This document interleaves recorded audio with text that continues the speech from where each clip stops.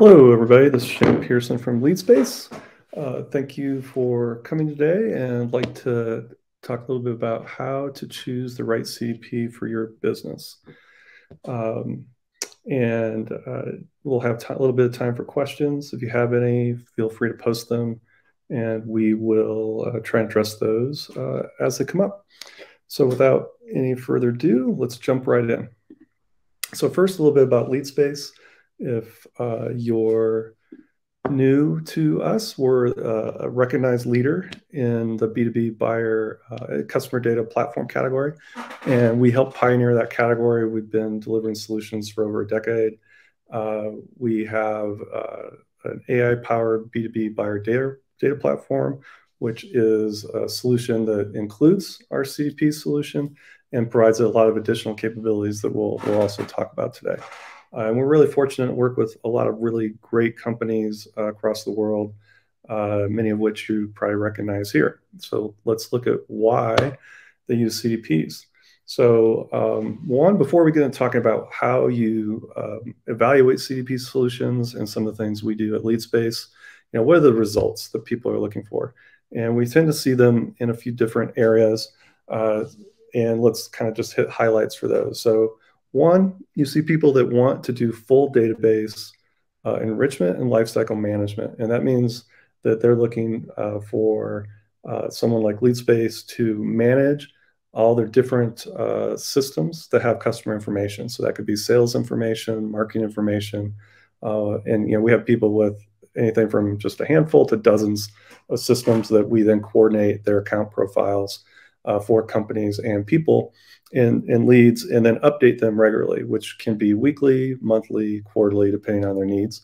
And we help them under, understand also their total addressable market by helping them compare the, their data with our overall third party graph in, in terms of understanding their the, the places they could be selling to better.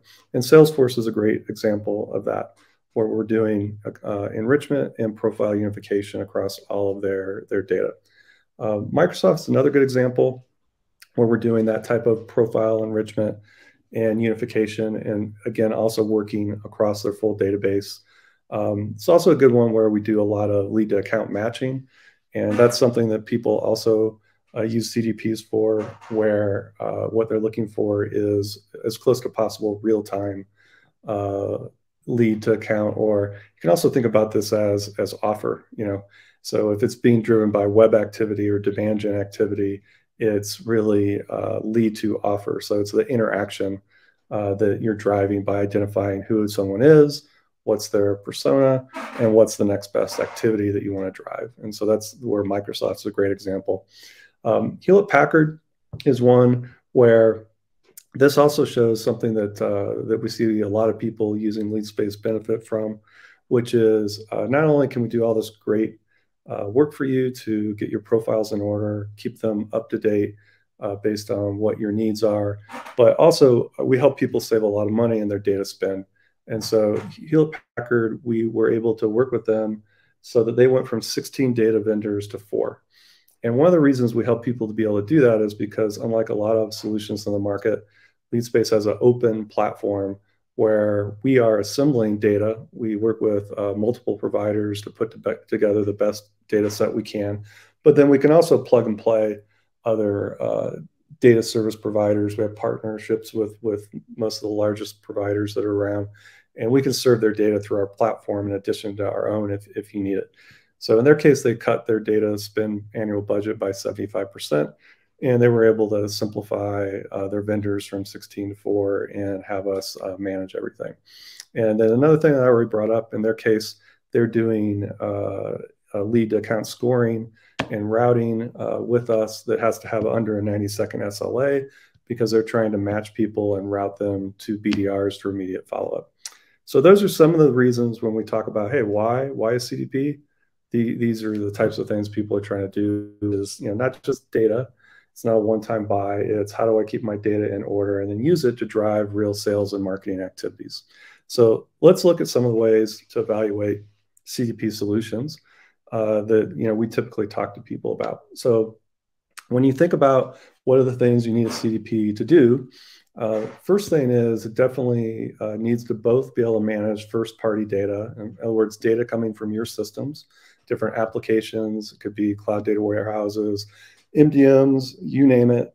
Anything that has uh, relevant customer data, uh, activity data, engagement data, history, that's first party data. Uh, third party data is then uh, something that your CP would normally bring in, or you might be buying that from individual companies and trying to manage yourself. And that's where we get into it's firmographic data, which is a fancy way to say company data, like company name and uh, size of company and where they're at and all their subsidiaries. Uh, demographics, so that's all the information about uh, contacts and companies in terms of you know where they're at and, and, typical information. But it's also blending in a lot of the data that's available in social web uh, sources, and then uh, being able to layer on uh, custom, more uh, specific data around competitors or intent that can be brought in also. So then what a, Uh, a data, data platform should do is allow you to define profiles and that should really be by the system that the data is going into. Because the data you need, say, for an ABM solution or your marketing automation, your Salesforce, they all need to be coordinated, but they might have data that's specific to each system.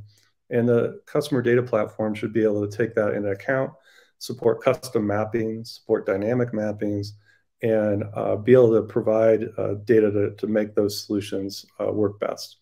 Uh, the other two parts that come into this is you want to be able to segment your data uh, so that you can then use it to drive uh, sales and marketing activities. But it's also everything from territory planning for sales to individual marketing campaigns or sales campaigns at a say field marketing or, or individual um, business group level.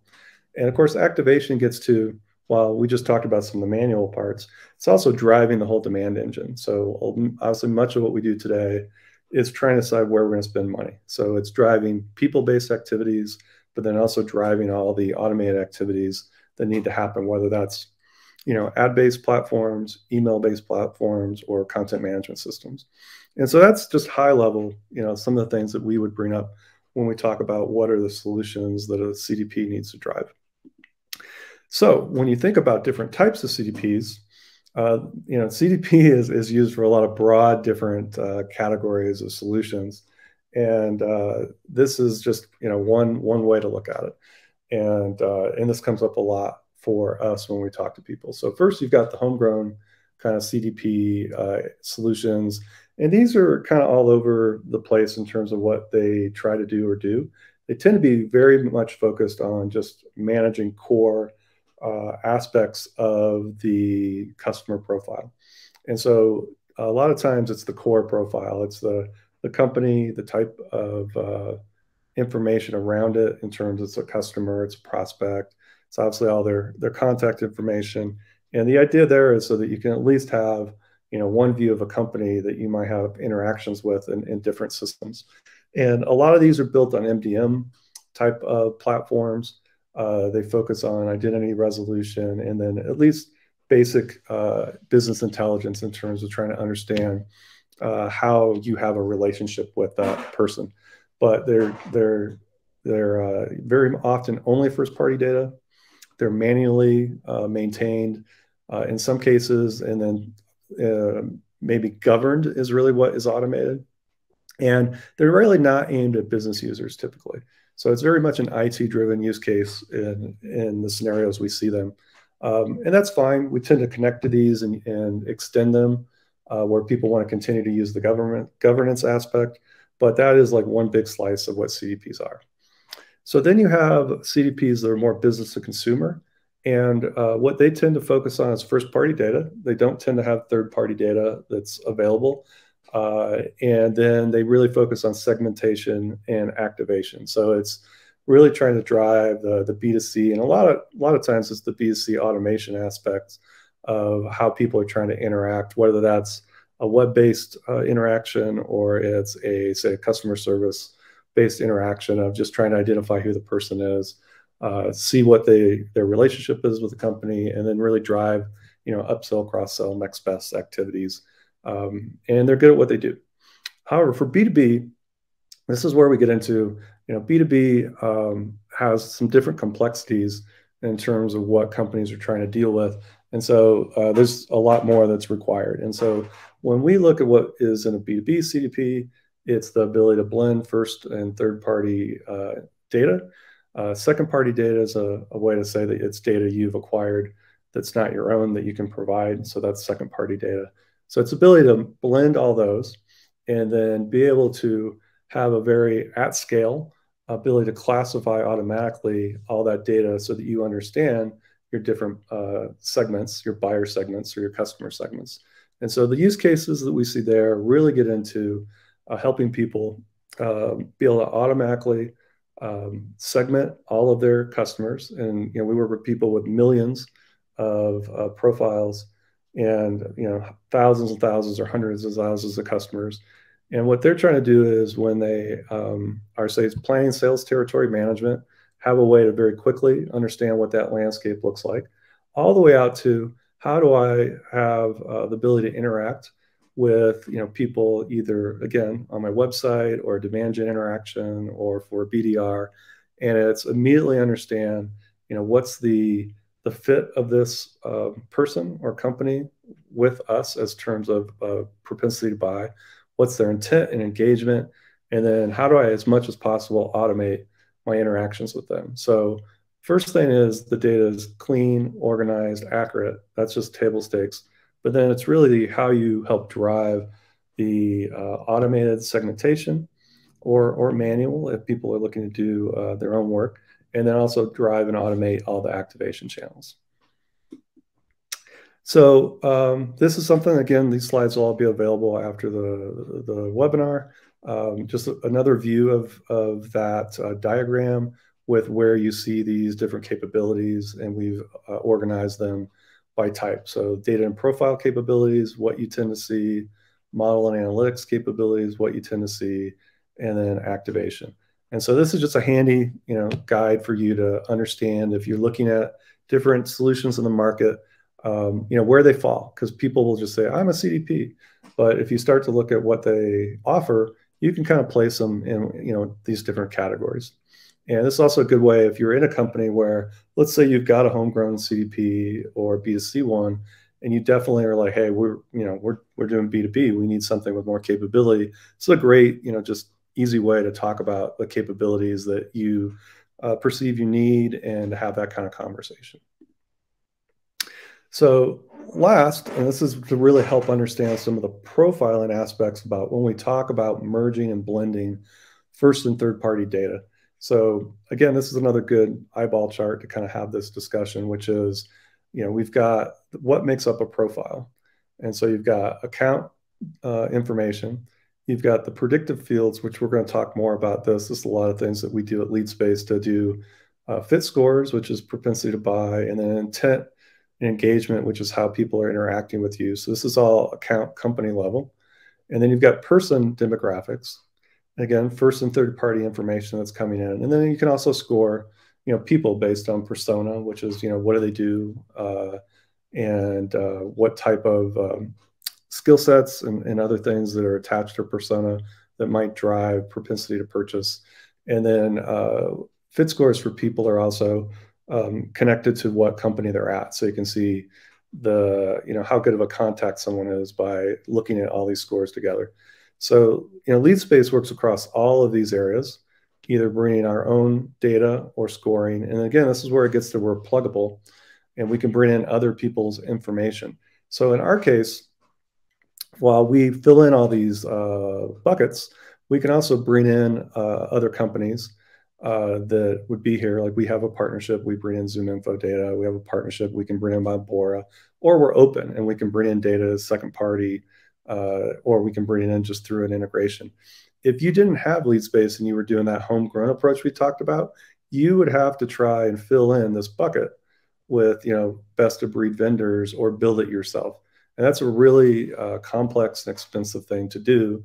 That's why solutions like uh, LeadSpace exist. And then, as I mentioned, how you target these different channels is also different. So the way you want to do your segmentation and, and the profile data you need to use to automate it is going to be different depending on what you're trying to do Um, we do that as part of our platform. If you were building this yourself, you would have to go do it on your own.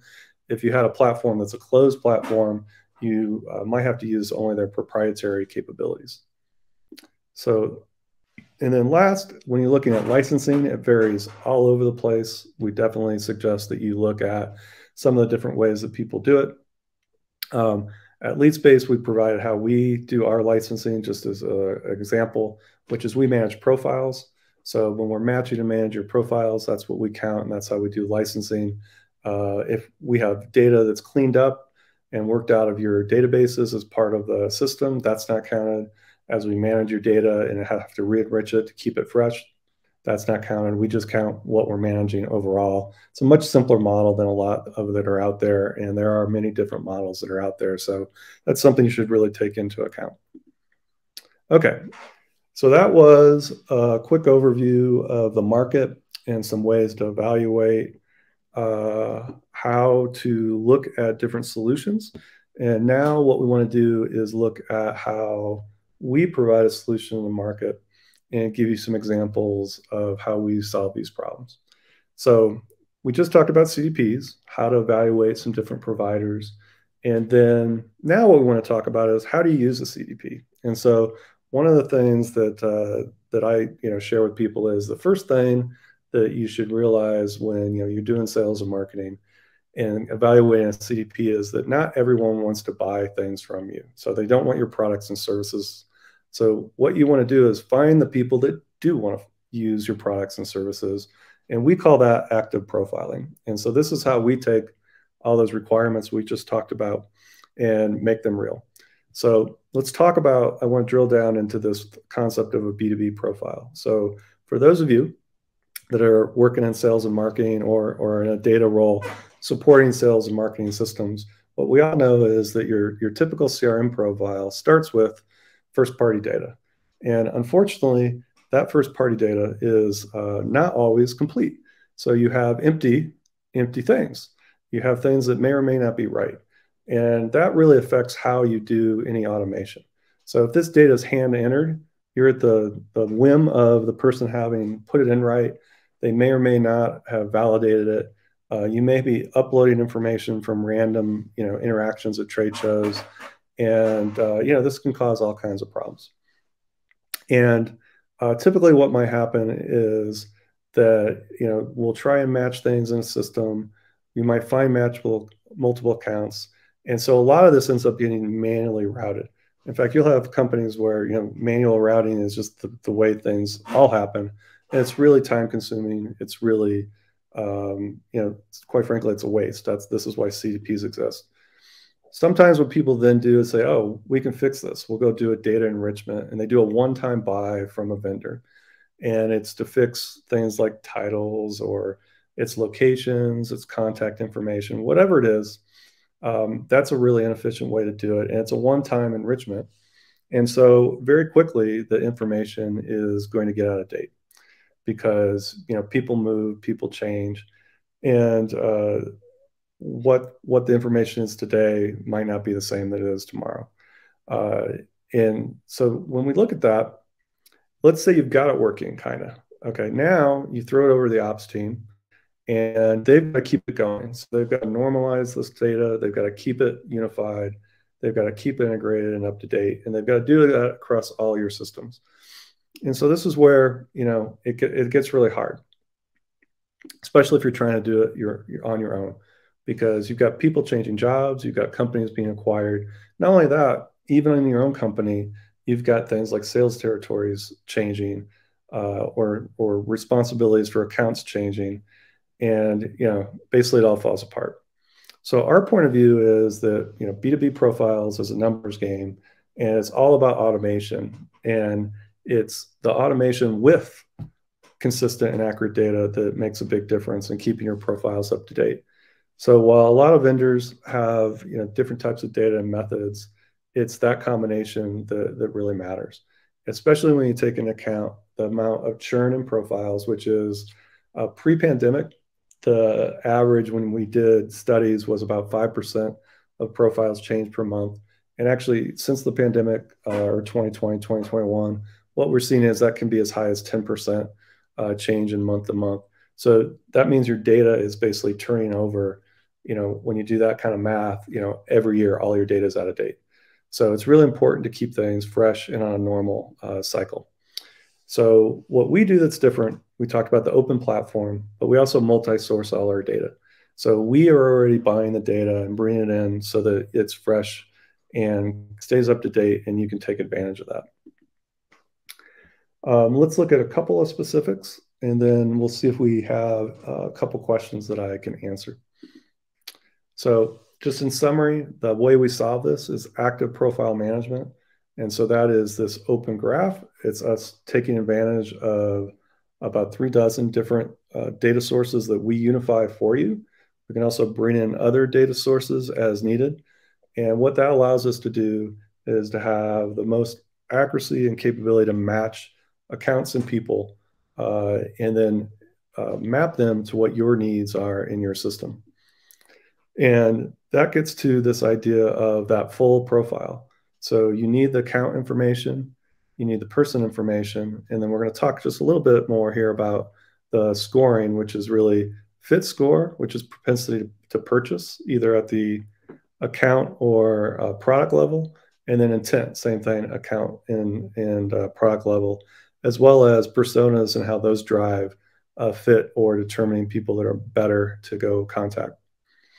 So our solution combines all of those aspects, which is full profile management, which can be real-time updates and managed updates uh, based on either triggers or schedules. Uh, profile signals, which is again where we get into things like, you know, have people moved? Uh, do you have tech technical um, data that drives a propensity to be good customers and purchases? And then all the SaaS management aspects in terms of filling out the platform. So that's the being able to do uh, real-time updates, real-time discovery, uh, the schedule, the triggered updates, bringing in your own data, uh, and also all the segmentation and real-time profile help. The other part is this is all uh, directly integrated into our scoring capabilities, which is the total addressable market. You know, is this company a good fit? Do they fit and look like people who have purchased from you before? Uh, how much do they look like that? And we have a very simple model that that brings all this up uh, so that we can score companies in real time.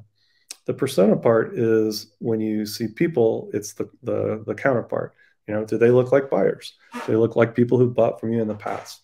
And then coming back to the uh, intent and fit part, doing that so that you can see the combination of signals, so that when you're interacting with people, whether that's it's a salesperson, you know, prospecting, or it's your uh, marketing uh, group trying to do automated campaigns and email. It's being able to use this to very quickly segment and have the right um, targeting based on where you are in your funnel.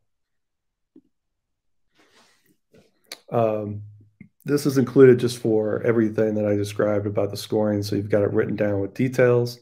The main thing here is that we score all accounts, we score all people so that you can understand where they fit in terms of, of mapping to your company so that we can do two things common view of accounts and contacts for all the people in all your organizations. But then it's also, and I know I've said it a few times, it's the ability to automate and to really make that uh, something that can drive your workflows and make you more efficient so that people aren't working on bad data, working on out of date data, or they aren't manually trying to have to keep things up to date.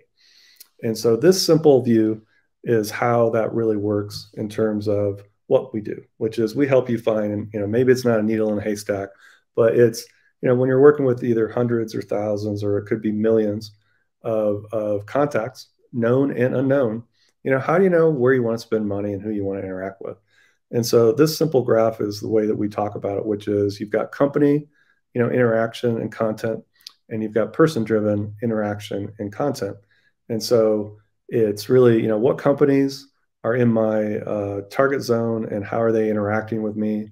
What companies are in areas that I want to expand to? And that's that's our sales white space.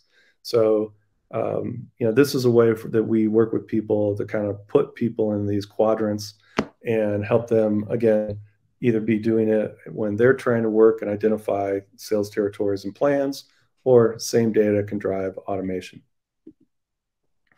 So in summary, um, things we know about you and working with your data, uh, we, we know your ideal buyer, we can know your best customers and prospects, we can identify your total addressable market, your white space, help you prioritize sales territories, your demand funnel, and also prioritize your, your content and campaigns by driving that off of all that data. And if you don't know those things, we can help you with that. And so that's really what we do at LeadSpace. And um, I'm going to attempt to change some slides here really quickly to show a short demo.